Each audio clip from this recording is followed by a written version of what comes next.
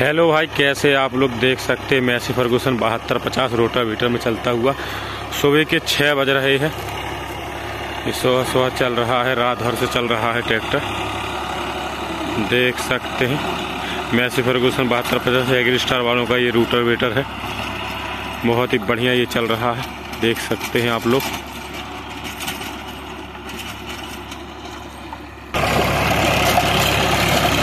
देख सकते हैं, ये चल रहा है।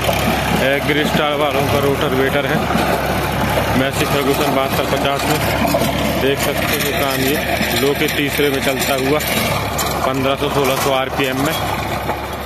बढ़िया ये ट्रैक्टर है, देख सकते हैं।